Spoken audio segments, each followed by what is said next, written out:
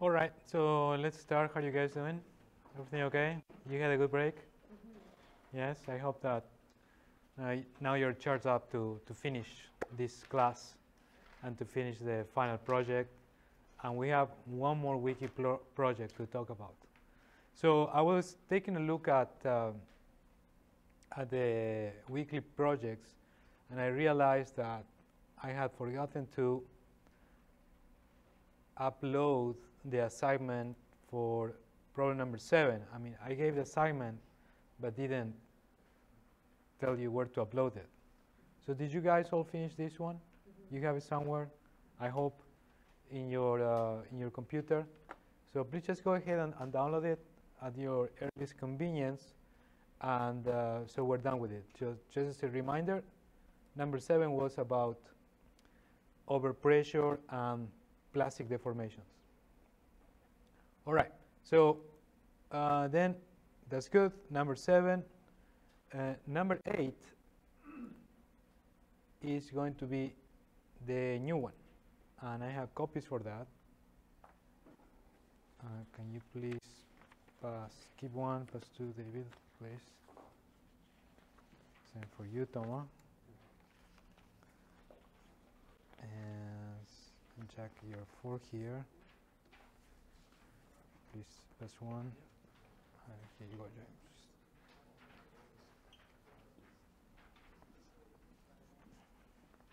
Okay, so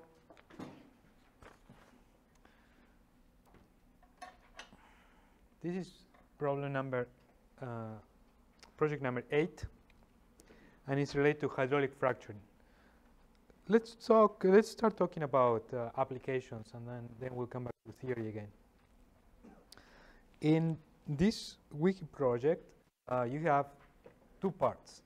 Let's start with the second part, because you already know how to do that.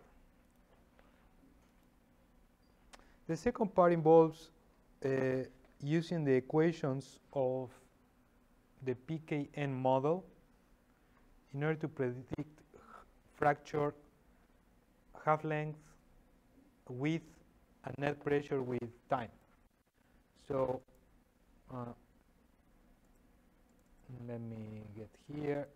All right. So if you remember, we talked about the PKN model, and uh, this is a model that allows you to predict what is how a fracture with this geometry is going to grow as a function of time with a constant injection rate. So problem I'm giving you, for example, uh, already what is the fracture height, what is the total injection rate.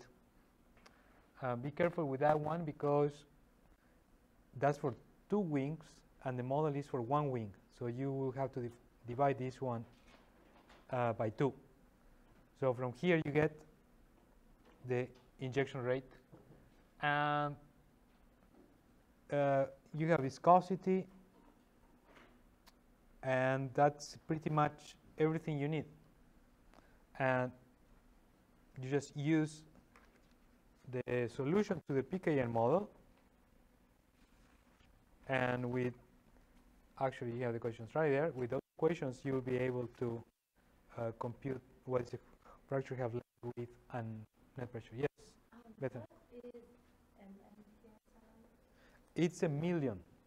That's uh, those are field units. So double capital M it's uh, a million. So in this case uh, let me check what the number is.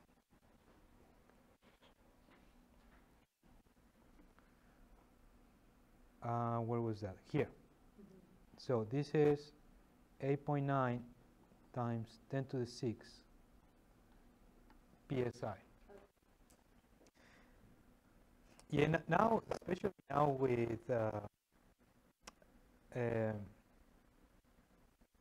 data data science and you know using the conventional K for the thousand, M for the mega, and so on it is kind of confusing to use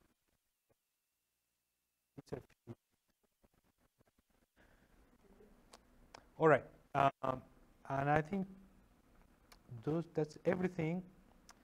Something that I recommend that you do is that before you start putting those numbers in here, make the right unit conversion first and pass everything either if it's in field units or not, pass it uh, to the SI system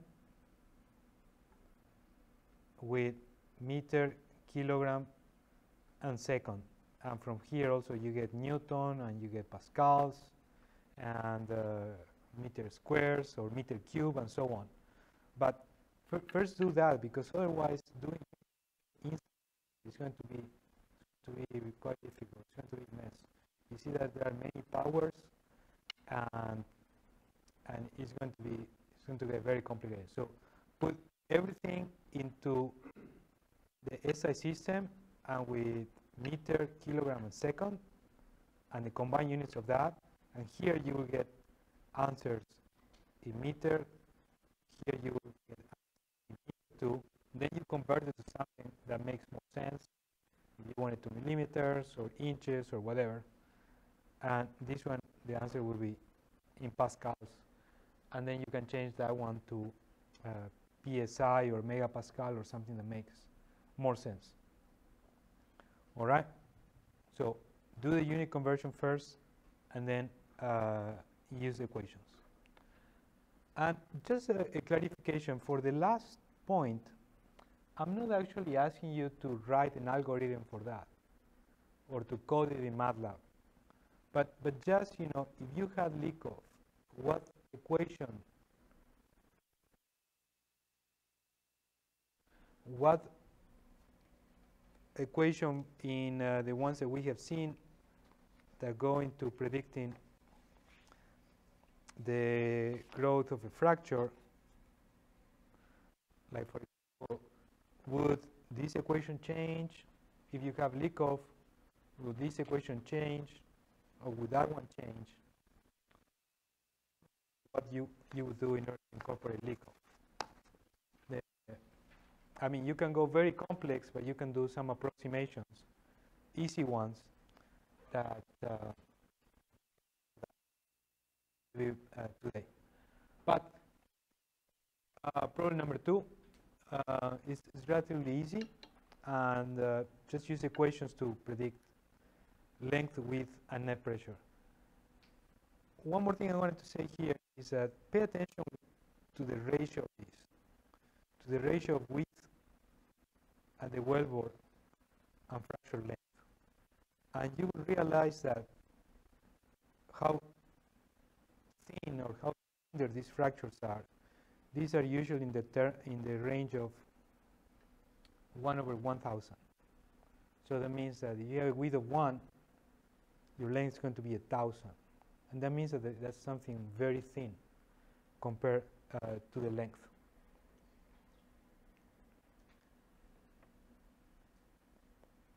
And also keep an eye on what is the absolute value of the net pressure. Because we're going to see today that we can compare that to S2 minus S3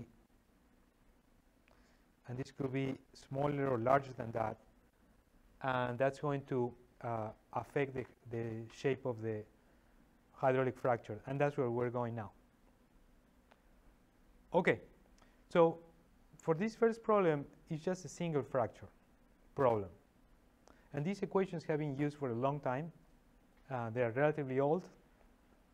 And single fracture hydraulic uh, simulators have the same physics that we saw in here, but a fracture height that might vary with uh, the distance of the of the fracture.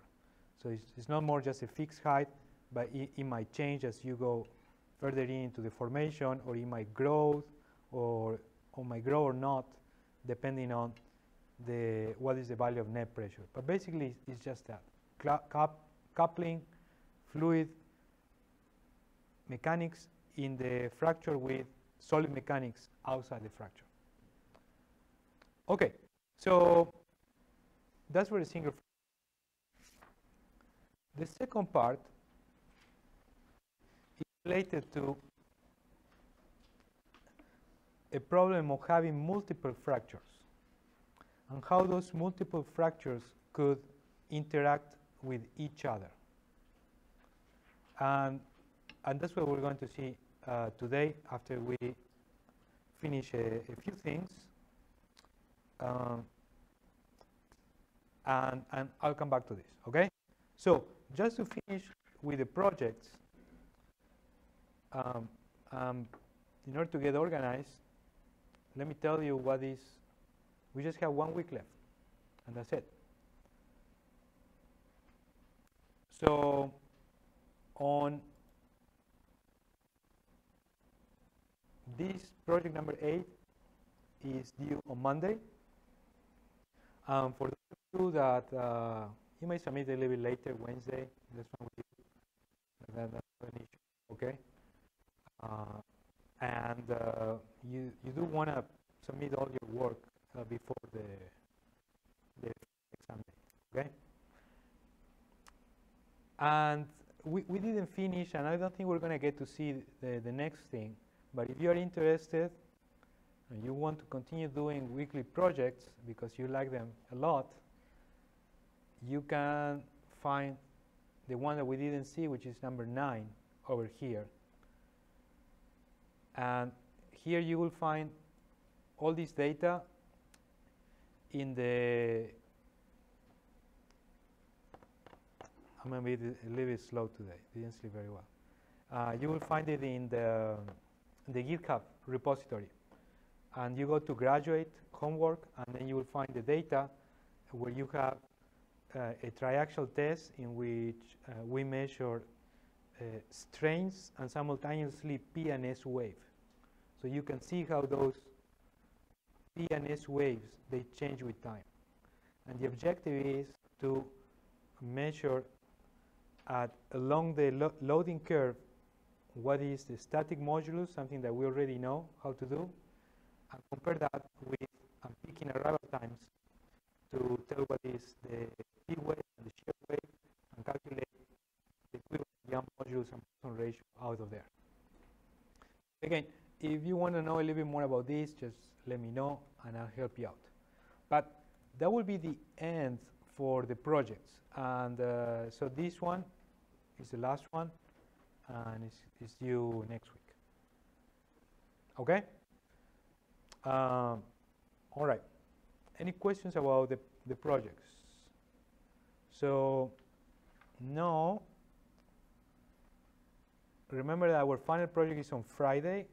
It's going to be from 4 to 7, more or less.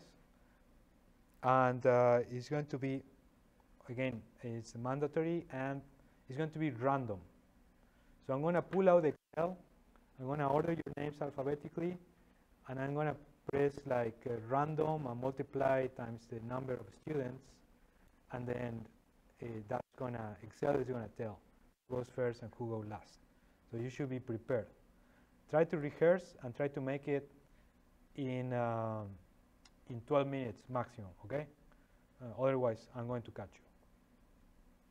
And I, I sent the guidelines already, but you are uh, encouraged to ask questions because that's going to be part of your grade. All right? Okay, so then, then this is done. And I have one more organization item. We're not going to have a regular lecture on Monday.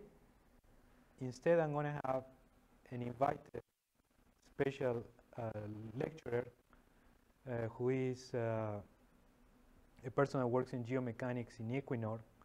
And he's going to talk about uh, geomechanics and hydraulic fracturing. I'll send you the details of the of the this special lecture during the week. But, but, but please come on Monday, and we'll have that special lecture. Okay. Uh, so then Wednesday is going to be the, the, last day of the regular lecture. All right, okay. So I think we're good. Um, we can continue.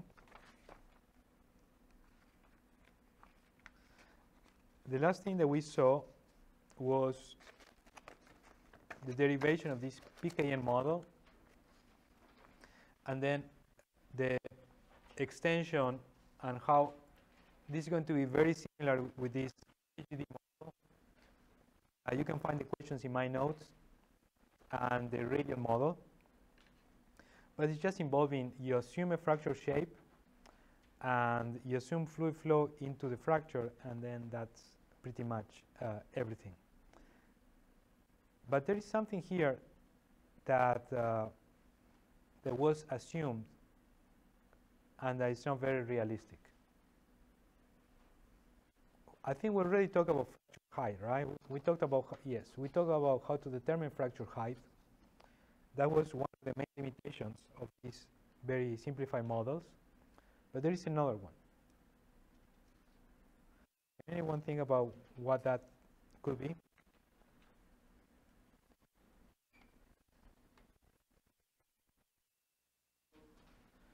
Uh, yes, yes, that, that's a, a, a limitation too, because you're, we're, we're using plane strain models. But there is another one.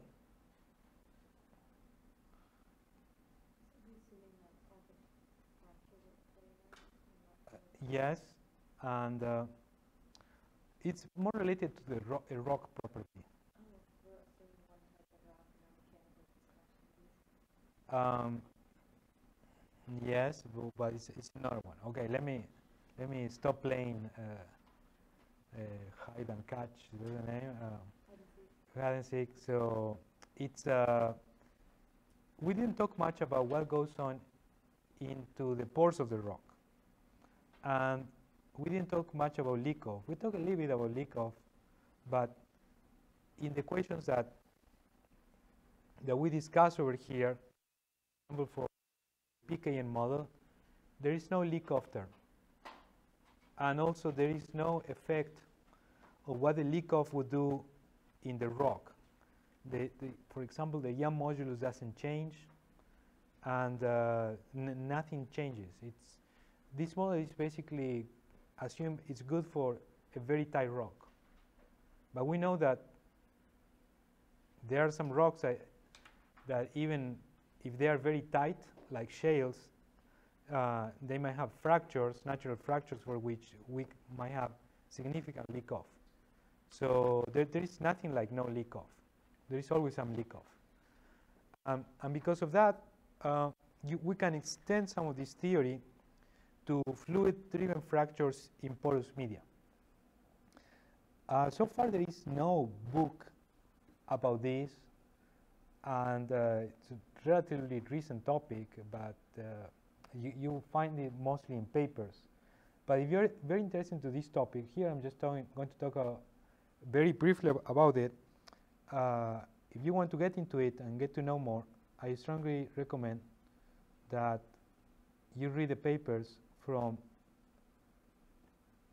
uh, Emmanuel Detournay and, uh, and, his students. Uh, and Emmanuel Detournay is at the University of Minnesota. He has done, I always spell incorrectly Minnesota, it's too difficult. But uh, is that yeah. two ends? That's it? Yeah. Okay, I wasn't that hard.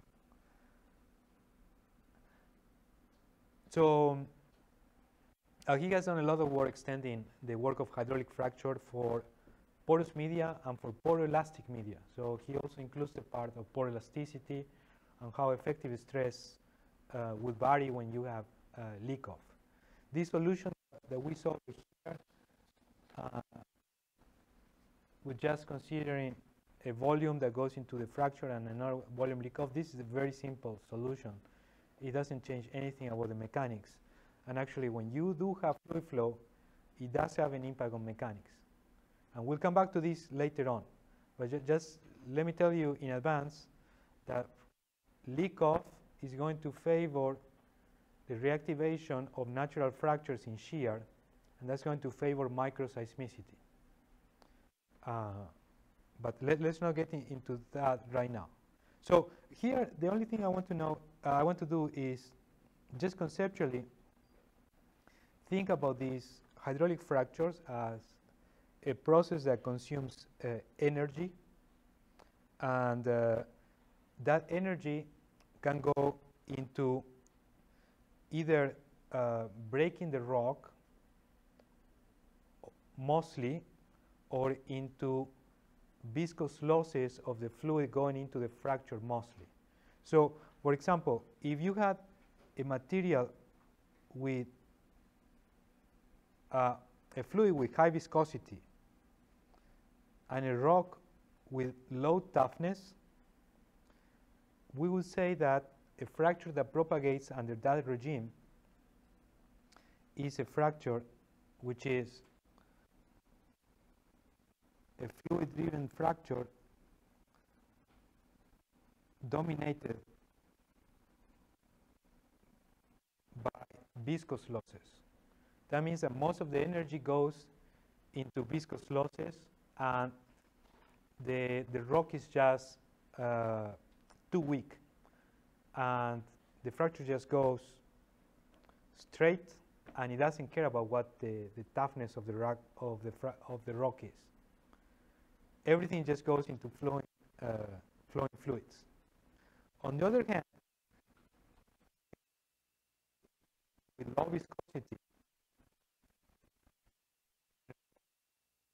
with high toughness, most of your energy might go into breaking the rock. It's not going into flowing the fluid through the and case, that this type of regime is going to be a toughness dominated fluid driven fracture. So I hope that you notice from this schematic is that we're not talking about fractures in general. These are which are opened by a fluid inside. Viscosity of the fluid is important. Toughness of the rock. And here we're going to add uh, one more variable. Uh, but before I do that, uh, let me tell you what this axis is. This axis will be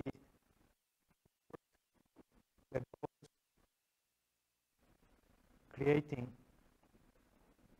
new fractures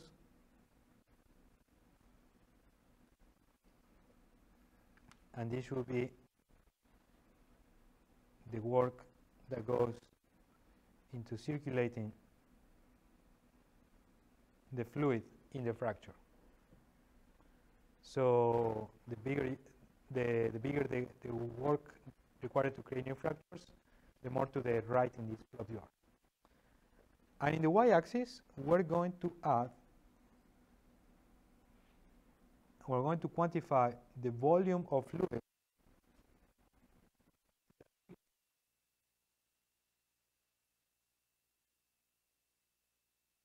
that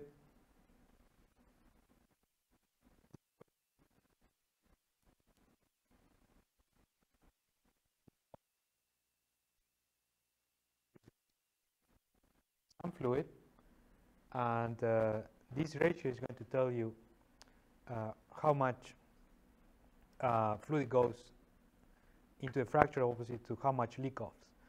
For example, for, for this type of ratio, there is an efficiency factor that considers that, for example, a high efficiency, efficiency factor would be one in which just a little bit of fluid goes into the leak-off and mostly goes into opening the fracture. From the point of view of making a fracture, that will be more efficient because you need less fluid in order to open uh, that fracture.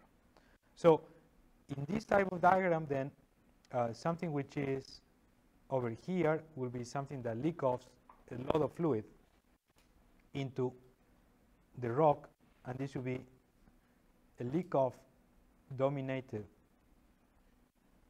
fracture propagation, and something which is down here that loses just a little bit of fluid is going to be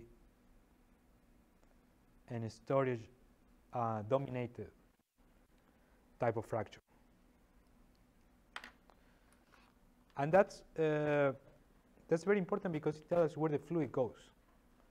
And uh, within this diagram, uh, your fracture propagation uh, could be anywhere depending on what are the properties of the rock, the properties of the fluid. Uh, but important too is uh, that, for example, you could change regimes if, for example, you change the viscosity of your fluid. Or you can change regimes if you change uh, what is the, the distribution of solids into your fracturing fluid. For example, for drilling applications, uh, sometimes you add something which is called uh, wellbore strengthening material that some people argue that helps, uh, that prevents leak off from fractures, from, from short fractures. So it allows you to increase your breakdown pressure. Um, but if you do anything to modify the leak off, for example, viscosity, or if you had a filter cake or something, you're going to move around this area and uh, varying the properties of the fluid, uh, you could change what is the type of uh, fracture propagation.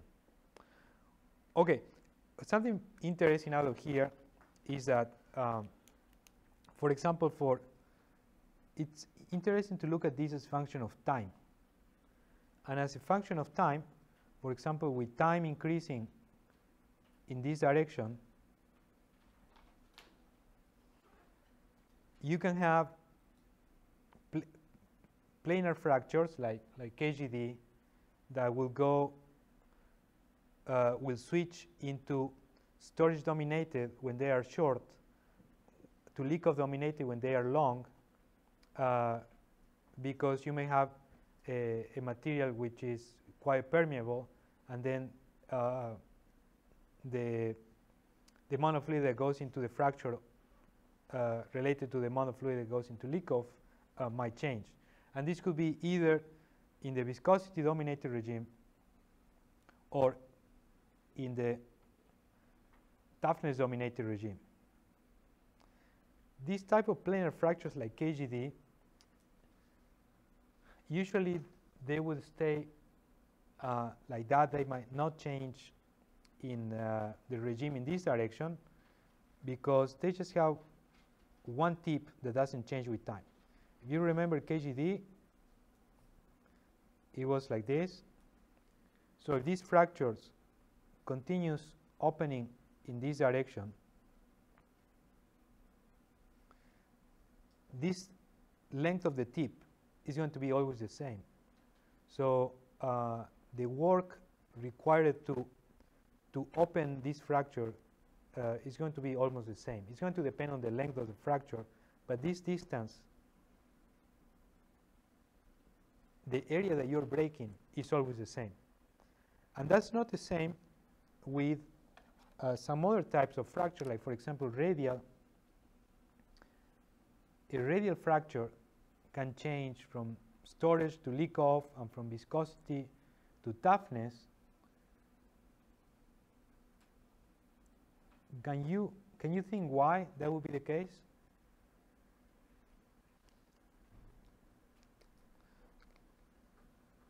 Let me, while you think. Uh, say again, Bethany? Yes. So in this case, the, the area that you break is the same. But in penny shape,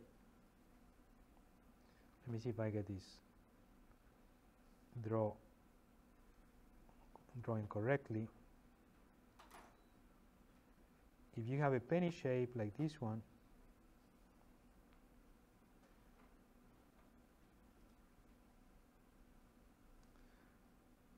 the area of the tip now the tip is this entire region. So this area is going to change with the fracture length or with the fracture, uh, in this case, diameter. So here, the tip uh, length is proportional to uh, proportional to r, where r is the radius of the fracture. So the perimeter uh, would be uh, 2 pi r, and every time your fracture grows bigger and bigger, then uh, you're going to have you more surface to break. And that's why sometimes these type of fractures might go from viscosity dominated to toughness dominated because now every time you need more uh, work to create, uh, to expand the fracture because basically it's more rock uh, to break.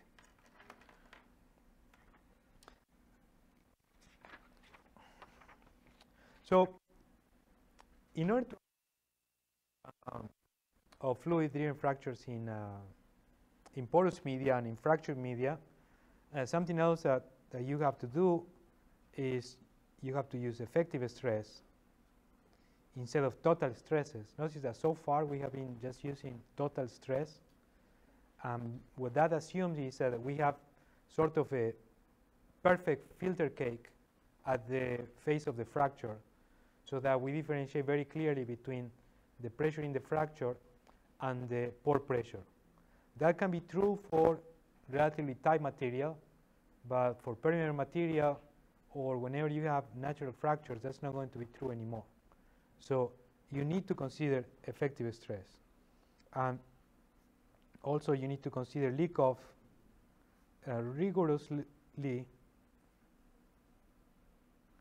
and that means uh, by using some, some sort of uh, fluid flow uh, simulation. And of course, well, with effective stress, also we need poroelasticity to account, for example, for undrained loading. And uh, when you, you when you put all of that together, then you're going to be able to uh, solve a problem of hydraulic fracture propagation in porous media.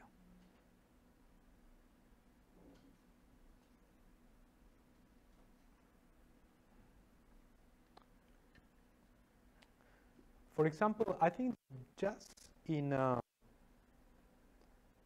last week, that, that's the, the first dissertation uh, I saw uh, from a student from Professor Sharma that was doing accounting for undrained loading in hydraulic fracturing. And, uh, and that, that, was, that was very nice to see, but often all of these effects are, are neglected, and we, but we don't know very well what we are neglecting and if that's uh, important or not. All right, so uh, let's see how we're doing with time. I think we're doing well. Um, do you have any question about about these parts? Uh, again, I recommend that if you're interested in this topic, that you read this paper. Uh, for example, he has some solutions for I believe it's KGD, KGD propagation in, in poroelastic media, uh, extending the simple model to a, a poroelastic uh, solution. No, very, very good point. These are single fractures, single planar fractures. Uh, point right now, in order to understand what will be the effect of a non-planar fracture and why we may have a non-planar fracture. Yes, Bethany? Yep. Did you decide to use the model depending on the size of your pay zone? Very good question. I, I think I forgot to say that. And then one was like technically small fractures, and one was big fractures, it was a lower weight ratio. Yes. The PKN, you use it generally for long fractures when your fracture half length is longer than your fracture height. And your KGD, uh, you use it, it gives better results for relatively short fractures when those fractures are shorter than the fracture height. Okay, and so in like a really thick pay zone, you would probably use KGD. and- It, but it depends what is going to be your fracture length. I was just kind of thinking of them being constrained by bed thickness in terms of height. It, it could be if your fracture is relatively short, probably you may use this, but even in, in very thick basins, you can do uh, relatively long fractures too, usually higher than the fracture, than the fracture height. Uh, for, for conventionals, usually the fractures tend to be quite long, Right. longer than the uh, height of the, of the basin. All right. Let's talk now about multi-stage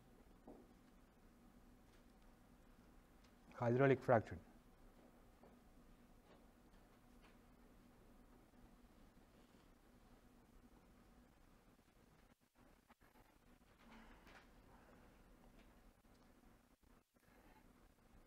We have done already some of these drawings, but I'm going to do it here again. If you have a single wellbore, and let's say that minimum principal stress is horizontal and coming in this direction,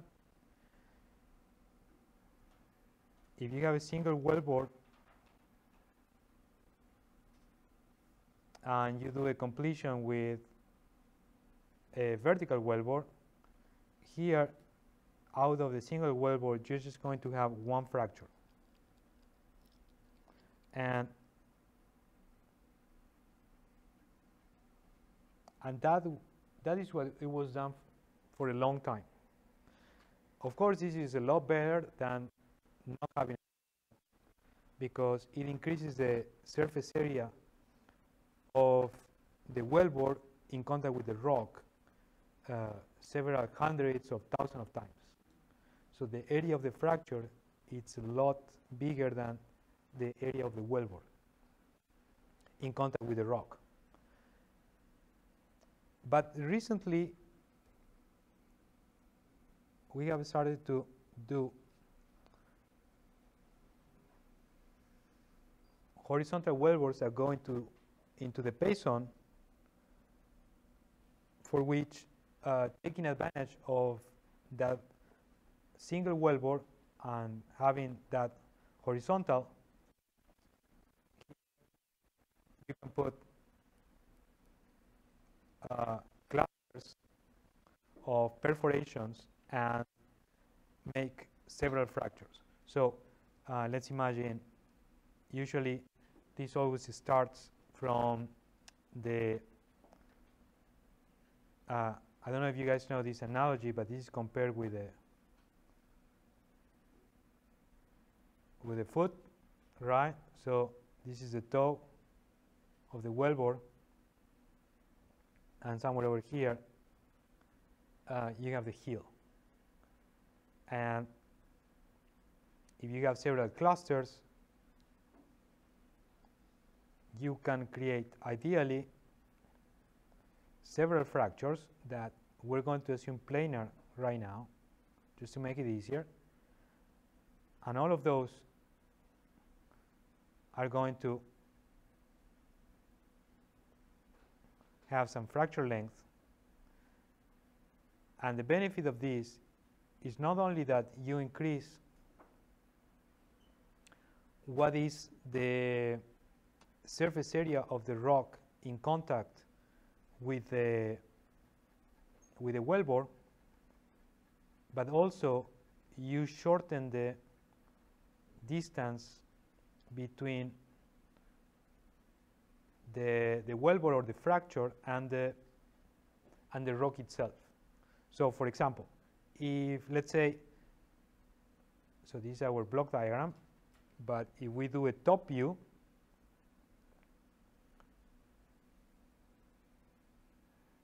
this is our horizontal wellbore.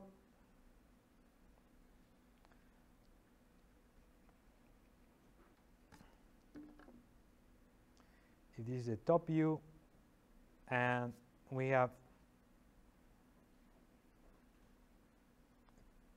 two more or less planar fractures over here. Uh, if you had a molecular fluid which was sitting somewhere over here, before with no fracture, it had to go all the way to the wellbore. But now, with these fractures, then it can go either to the left or to the right, but just go directly to the fracture, and the, actu- the fracture would act like a highway, take it through the fracture, and then take it to the wellbore, uh, to the surface. So at the end, the fracture is just going to be like a sort of a highway.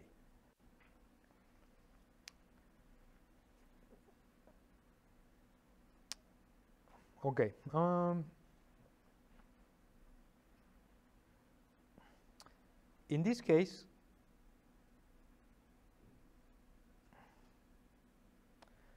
we're assuming no fracture interaction.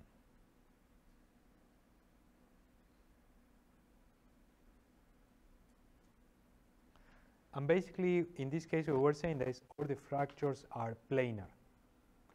But that's subject to one condition. And one of the most important conditions is what is the distance between these clusters. And let's call that by LF. Uh, one of your design question now it's uh, what is the distance between fracture because before it was fracture length, fracture height, and width. Now you have one additional variable. What do you think, what would you use as an optimal spacing between fractures? What would that depend on? Uh, and wh what, what would be the stress shadows, Rodrigo? like a region around the fracture that is affected because of stress intensity. Okay, so if if fractures, let's make another horizontal over here. Let's do now, this is the top view. Width.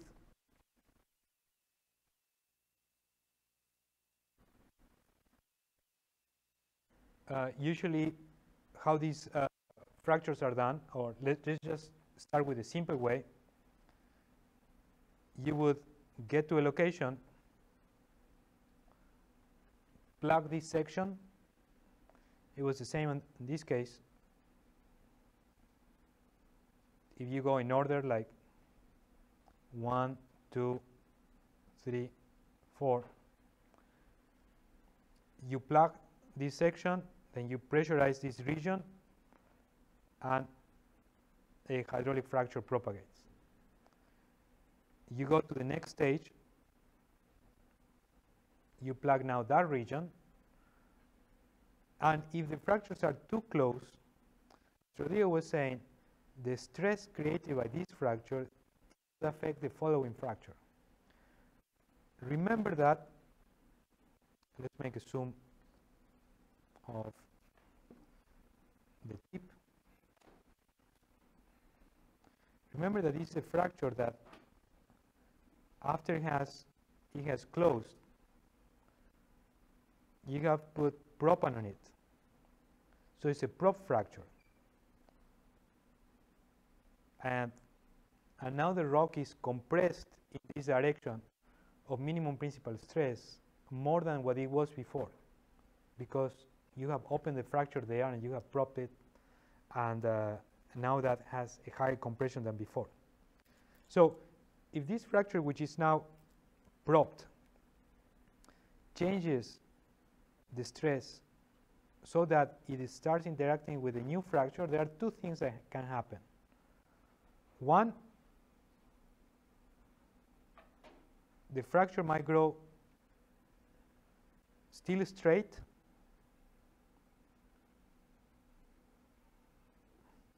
but with no proppant. The stress might inhibit the width of the fracture which is opening uh, next to it because there is too much stress. So the width now is, is higher, is, is smaller. The stress is higher. So for the same net pressure, you cannot open as much as you opened before. And let's say if the width is smaller than the proppant size, size you're not going to have any proppant in it. And the other thing that can happen is that this fracture can also turn because of the influence of the previous fracture. At some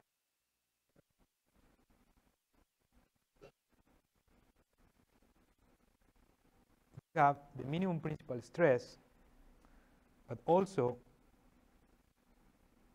you're going to have an additional stress.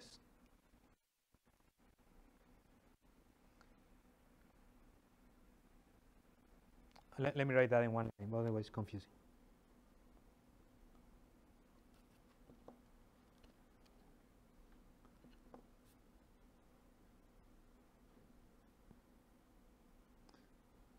There's going to be an additional stress that's going to make that fracture uh, probably bent.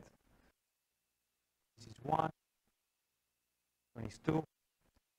Now, if if you were to knowing that you try to create another fracture, now this one is even closer than the other one was before. So this one may even just go in this direction and grow more in the other direction. And if you put another one, might, this might do uh, weird things. And let's exaggerate a little bit more.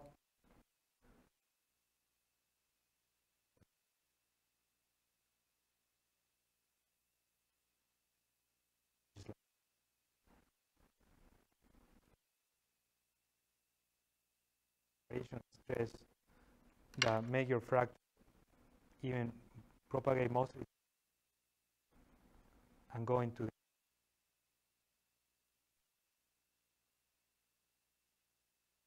just keep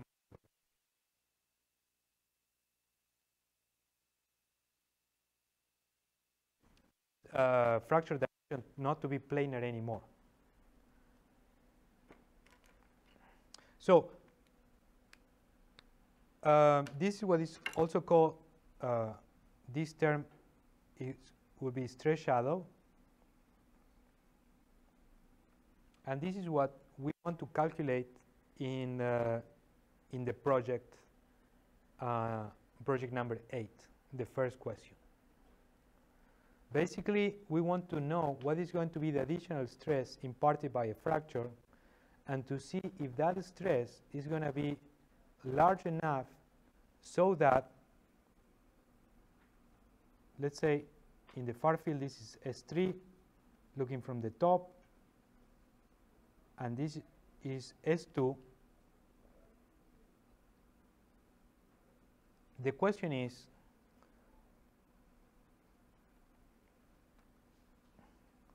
what is the additional stress that I need so that what was before the principal stress now is equal or larger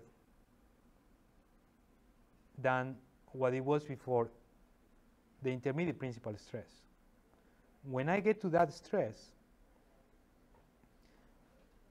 then the principal stress direction is not going to be any more S3 is not locally it's not going to be any more in this direction, but it's going to be in that direction. Just to make it clear here, let's open, let's put some coordinate system. If your additional stress is too large, the minimum principal stress is going to go, instead of being east-west, is going to change north-south. And that's when you're going to have your fractures to change direction and not to propagate in the way you want it and in the way that we presume will be the case uh, over here. All right, so how do we do this? And this is what we're going to see uh, in the project over here. Let me explain you what, what's happening here. Uh, well, first of all, I encourage you to read this paper from where I took the, this image and also you have to get from here uh, take a look at table one that's going to tell you what are the conditions at that location and uh, using your code for FreeFEM, for the fracture, you're going to predict uh, what are going to be the increases of stress uh, due to putting a fracture and to see what is the point at which stresses would reverse. Let, let me explain what this is going to be. All right, what you see over here, this red line is a horizontal wellbore.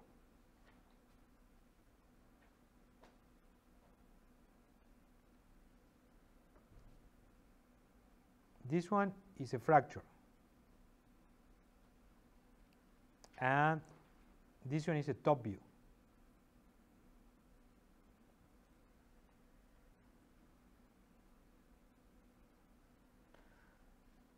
Let's, uh, as you see the axis here, we have x, y, and z coming out of the page.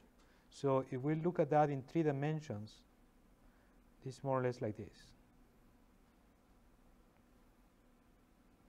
x, y, and z. And what, what you're looking at here is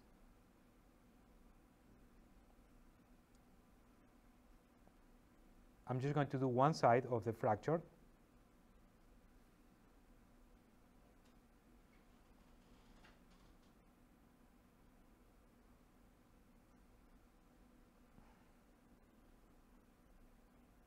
is a fracture which is something like this,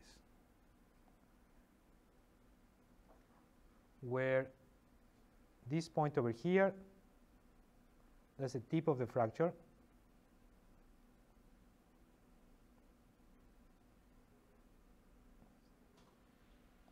and it's that point over here.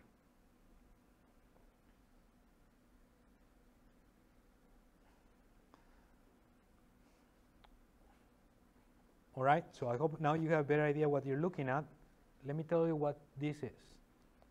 All these lines are, are telling you what is the direction of SH max. So far from the fracture, where there is no effect of the fracture, this is the direction of SH max, and this is the direction of SH min.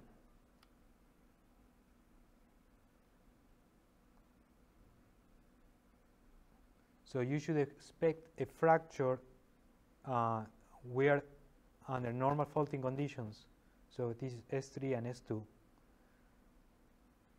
Um, right here, a fracture should always open perpendicular to SH min, and this, this is what you see over here. But now because of the presence of the fracture, after it propagated, the minimum horizontal stress is not pointing in this direction anymore, it's pointing in this direction. And for about 150 feet, the minimum horizontal, or let's do the maximum horizontal stress now goes in this direction, let's say east-west, and outside of it, it's north-south. So this is what I want you to calculate, where the stresses reverse. And in order to do that, what, what you're going to have to do is to model that, but you're not going to model a 3D fracture. What I want you to model is uh, a 2D fracture. So this would be the 3D version.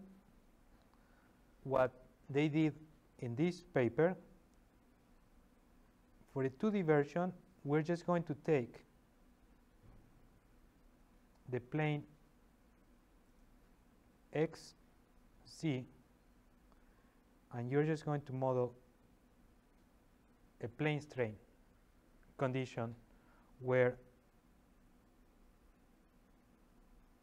this is the height of the fracture divided by 2. And don't worry about what the in situ stresses are. I recommend that you uh, divide the problem in two. Uh, just calculate what the additional stresses are going to be for placing a fracture. So when you place a fracture here, if you want to calculate what the stresses are going to be near this fracture, at the center of the fracture, in this case, y equal to 0, then because of the presence of the fracture, you're going to have a change of stress in direction xx. So in your 2D model, this will be, you know how to do this, you already did it. It's just a stress caused by, by this fracture at, at a certain distance. So this is going to be delta S xx. And those, are, that's going to be one of the horizontal components. And the other one that you have to calculate is the change in this direction, delta S yy. And delta SYY, you cannot see it here in the 2D version, but you can calculate it because you're going to be able to calculate also what is going to be the change delta SZZ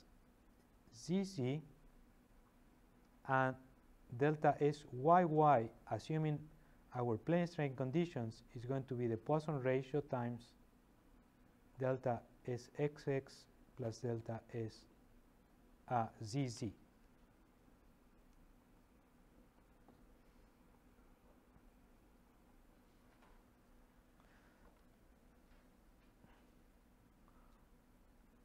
And that's it. That's everything what you have to do. And uh, you add to the original conditions. Numbers are, let's see. I, th I think we have we have some time, so check it quickly. Let's see. This is. Uh, I don't have the SP number. That will be useful.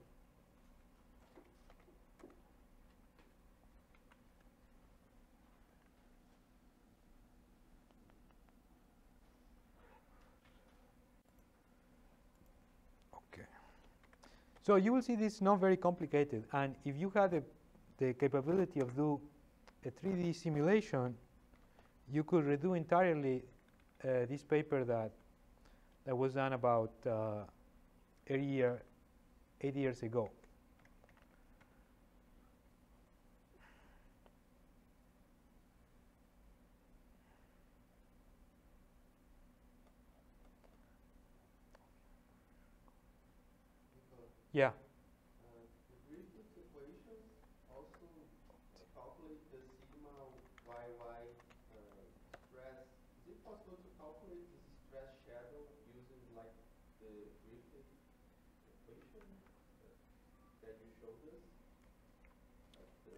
Yes, but that one, uh, it didn't tell you, if I remember correctly, uh, it didn't tell you what was delta uh, ZZ, SCZ. That one was to calculate delta SXX. Uh, and probably you could do that too. I don't remember very well. Uh, but, uh, you, you can try if you find another solution for that, pro probably you could do it, and you can find an analytical solution for that. Um, I'm just let, let me write this number. It's a paper number, and check it out.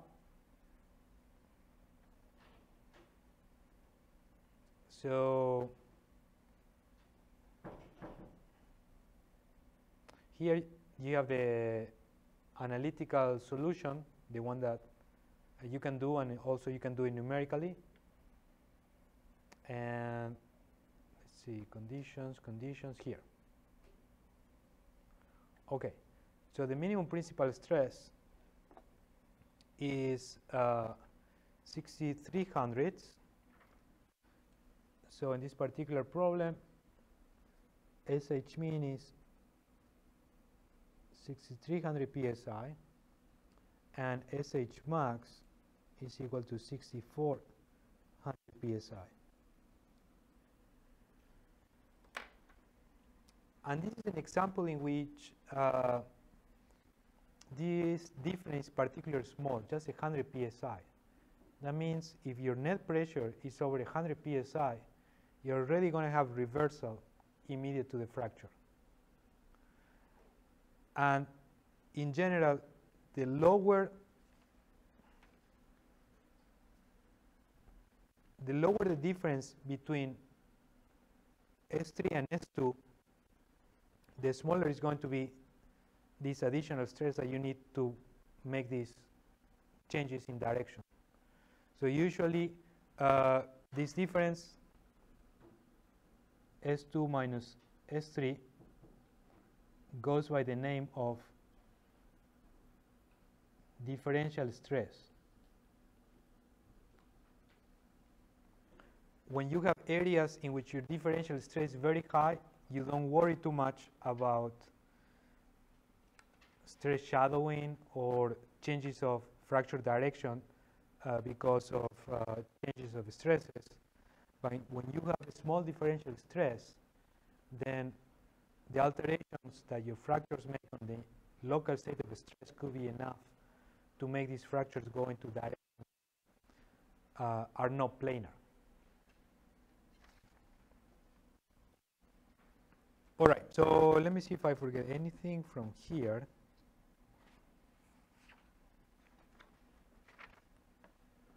Mm, no, I don't. I don't think so.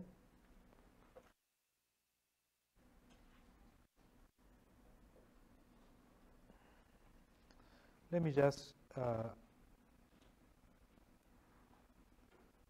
add a few notes over here.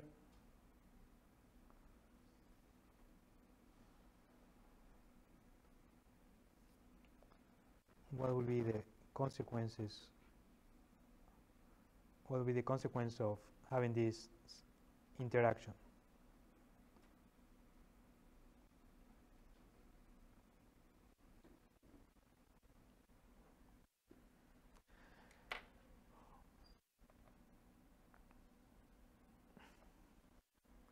It's very easy to make these drawings.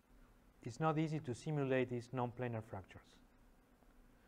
There has been a lot of research on what numerical methods to use to simulate these uh, non-planar fractures. Some of the main problems related to this is that when you use a finite element or a finite method and you have a mesh, if you use some of those methods, usually your fracture will follow. So whatever your mesh is, that's going to be the regularity or the shape of your fracture. And, and that's why this is an easy problem. There are some other methods which are called meshless methods in which the fracture does not follow the mesh.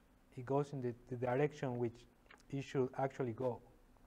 But some of those are very computationally expensive and they're very difficult to run. And for a 3D simulation, they, take, they could take days in order to, to do uh, such simulation. So most commercial simulators, they just simulate planar fractures. That's the, the easiest thing uh, to, to do. Uh, so far, I don't know any commercial simulator that, that simulates these uh, non-planar fractures together with fluid flow and with um, all the problems of hydraulic fracturing. Probably the only one is uh, that I know is uh, Professor Sharma's one that, but that, that one uses a mesh. So somehow it could be also affected by uh, what you use as a mesh.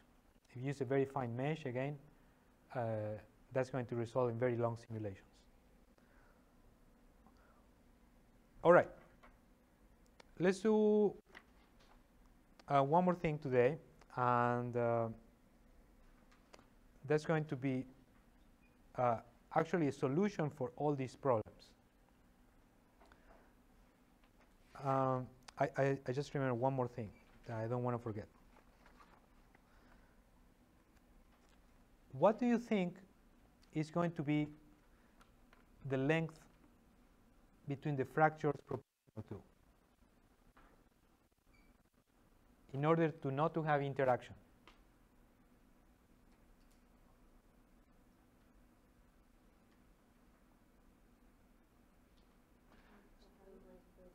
So the, the bigger the, for example, rock,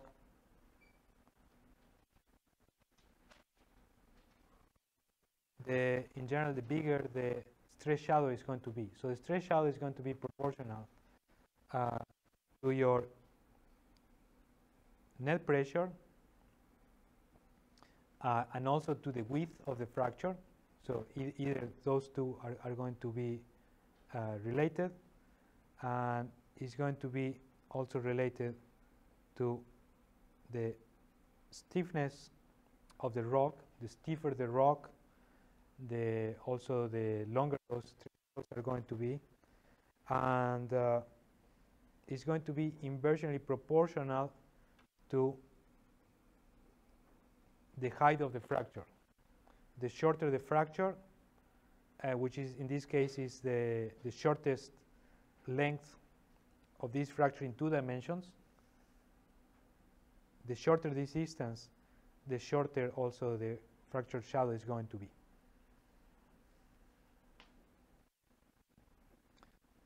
And one more thing, and then, then we go to the next topic. The problem of how close you put these fractures is a, also a problem of economics. Let's forget for a moment fracture interaction. We know fra uh, fracture interaction, uh, it's very important. But also, you may say, I'm going to put these fractures very close. But if you put these fractures very close, uh, also the cost of doing such a hydraulic fracturing completion is going to be very high. Probably you will have higher production rates, but your cost is going to be very high. On the other hand, if uh, you space your fractures a little bit more, then you can find an an optimal number so that you have enough number of fractures so your production is more or less okay, but your cost of doing all those fractures it's also relatively low. So in general, there's going to be a limit or a, a local minimum of net present value that maximizes production and minimizes the cost of completion. And that uh, length between the fractures and putting together fracture interaction, everything together, that is what is going to determine uh, that number. Okay, well, so far we have doing a simplification, have been doing a simplification that was done several years ago at the beginning of multi-stage hydraulic fracturing. And that simplification is that we just pump in one cluster each time we plug a section of the wellbore. So for example, in, in this case, we just had one cluster here and we plugged it in here and pumped and created one fracture. And at the beginning, this was done like this, but it's not done like that anymore. Because people figured out that it will be easier. And I think more convenient from the point of view of energy also to have several clusters in the same plugged region. So similar as before, you will have your horizontal wellbore, but now you can have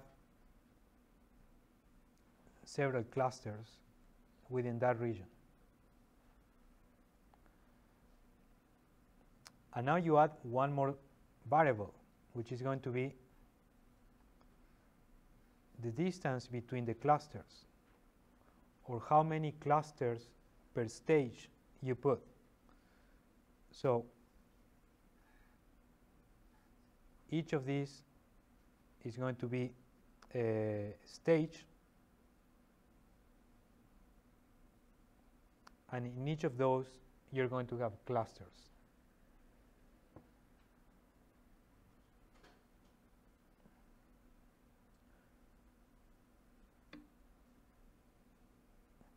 Do you guys know what these clusters look like? It's more or less like, you know, you see that drawing over there of perforations in a wellbore? Yeah. It's, it's more or less like that.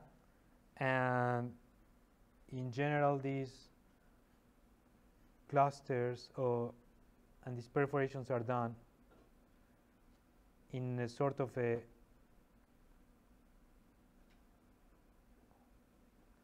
spiral way around the wellbore. So if this one starts there, then there is another one somewhere over here, and another one somewhere over there, and so on. And, and they are not in the same plane, so they, they shift in length. Usually the angle between these perforations is about 60 degrees, and uh, on the number of perforation per cluster, it's, it's a design variable. But let, let me, let, let's keep these details right now. What do you think would be the advantage of making a fracture grow from multiple clusters rather than one cluster?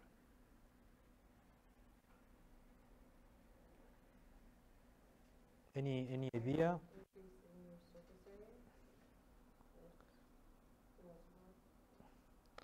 Well, but I mean, you could have, say, put plugs here and there later.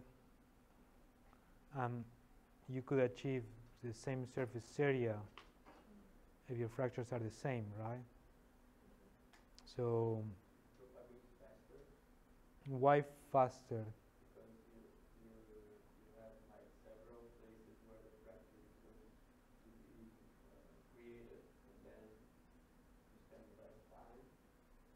Well, yeah, probably that would be an operational advantage that instead of, you know, plugging a lot of sections, just put several clusters and, uh, and then just plug it the entire stage and then you make the, the fractures grow. Uh, yeah, that could be one operational advantage. But from the point of view of fracture propagation and taking into account fracture interaction, Uh, why? Why would it add complexity?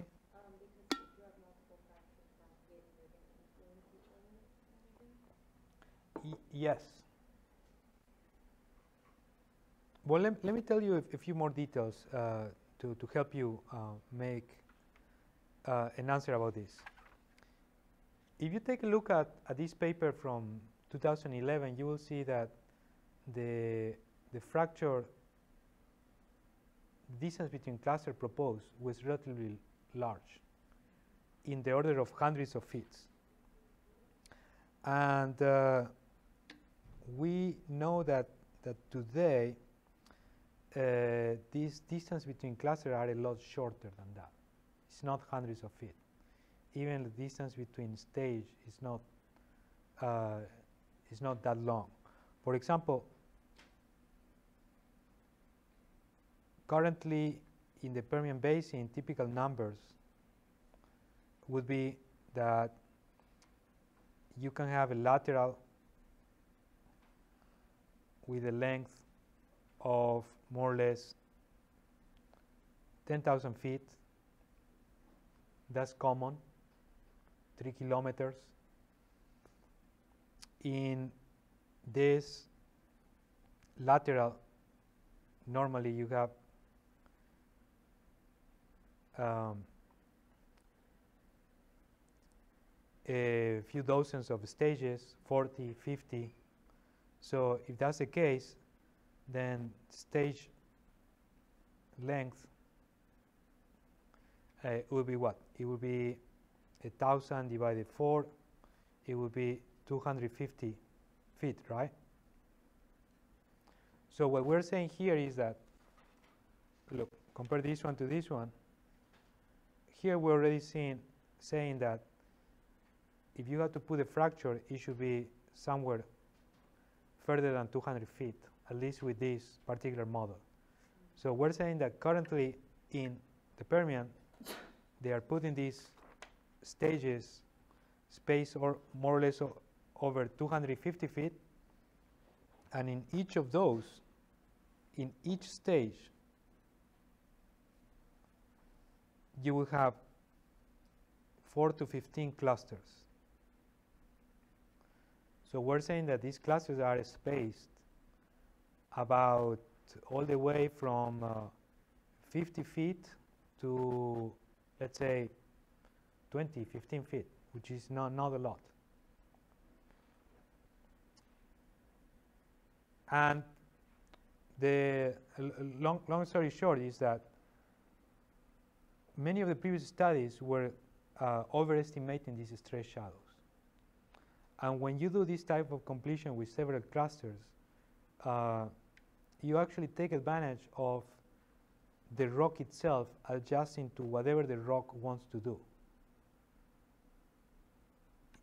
We know very well that rocks are not homogeneous, they are very heterogeneous, and therefore there might be regions in which a, a fracture may start growing over here and it may get longer, and if that one starts growing, uh, probably, let me do with color, probably if there is any fracture interaction, this one may grow not that much, but may grow into another direction, but then this one, it will grow in, into this direction, uh, and so on. Oh, no, not from there, that's a plug.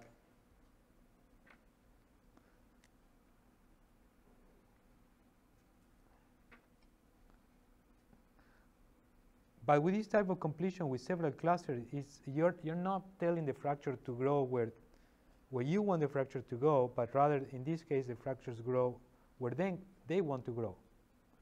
And I, I like to see it also from the point of view of energy conservation, saying that in this type of environment, you really have the survival of, of the fittest you don't know, you can't control which one is going to grow more because the rock is heterogeneous. And these fracture interactions also, you cannot control it very well. But if you give enough chances for the fracture to grow where the fracture wants to grow, then uh, it, it's just going to grow, but uh, according to the where the fracture wants to grow and not where you want the fracture to go.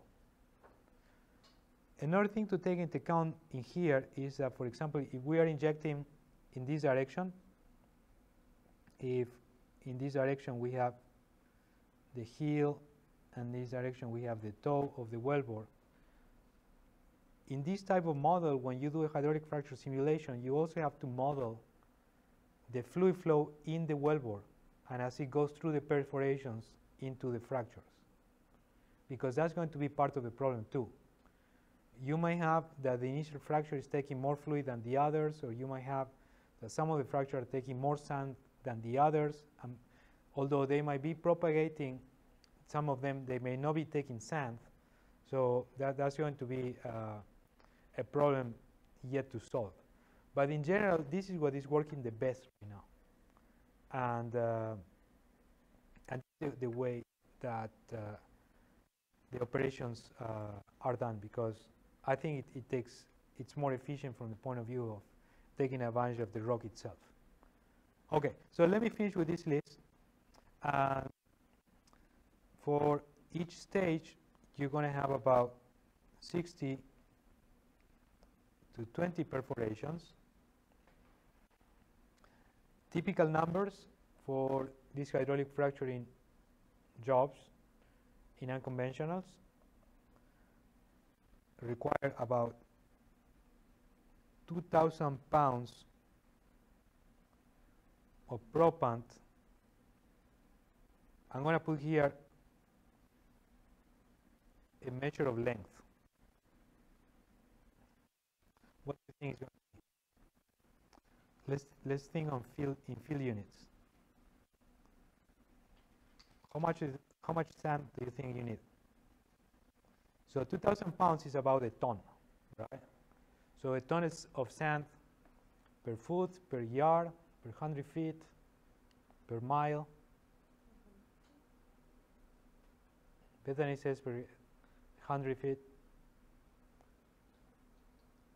Any other suggestion?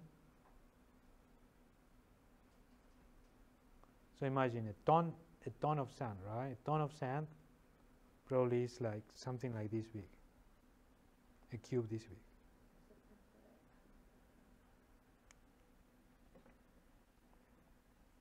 And we have a 10,000 feet wellbore. So this is per foot, per linear foot of horizontal well. So that's a lot of sand.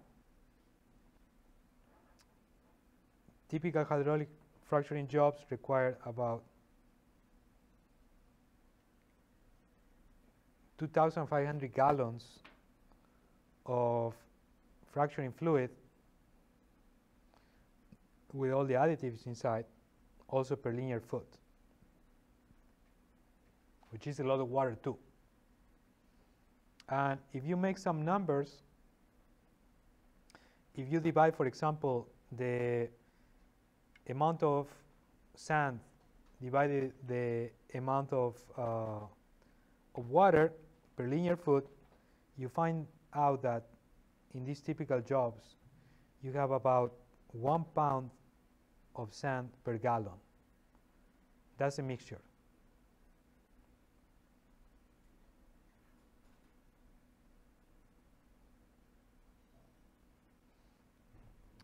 And in volumetric terms, this is about 70%. So it's a relatively uh, dispersed mixture.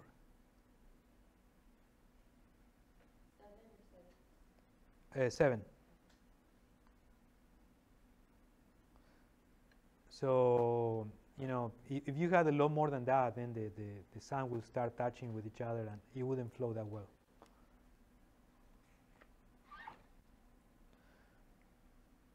And just one more thing from the technical aspect is that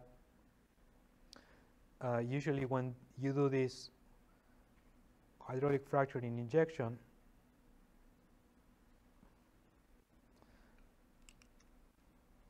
you start injecting at the beginning fracturing fluid. So this will be zero. At some point you stop.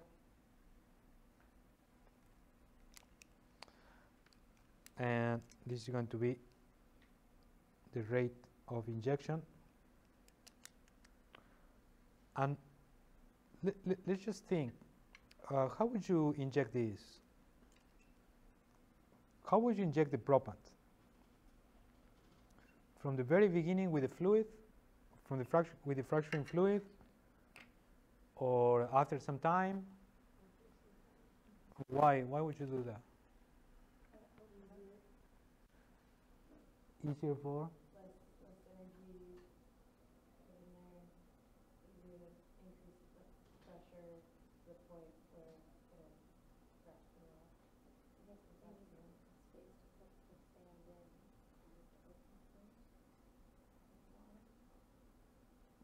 Yeah, I think it, it, it's a well. It's going to be a combination of the. You better have first a fracture open in order to have the sand to go in. Otherwise, there is no place for the sand. There's also some of these people that argue that that some uh, particles can inhibit fracture growth. So usually, what you do is you leave some time uh, without injecting any proppant, and then you ramp up the proppant in steps till the maximum. So this is going to be the total injection and this is going to be the rate of injection of the proppant and and this is this what this region that goes in here is called the pad. It's a region in which, or the time for which you're not injecting uh, any proppant. Here, a path, PAD. Um, I heard recently that there were some people injecting uh, fracking without a pad. And that sounds a little bit strange to me. Uh, but probably what they're meaning is that when after you do in a stage and you do a backflow water that may be already filled, you know, with something which is not a lot of proppant, so all that volume, they may use that as a pad and then inject the proppant from the beginning. But uh, always you're going to have some region in which you have almost no proppant at all, just fracturing fluid. You open a fracture, and then you do uh, you start uh, injecting uh, your proppant. There are some people that even in the pad they add some other uh, fluids like acids in order to, to make uh, fracture propagation easier at the beginning. So if you add an acid, what do you think you would do? What are you going to affect in this problem of hydraulic fracture propagation?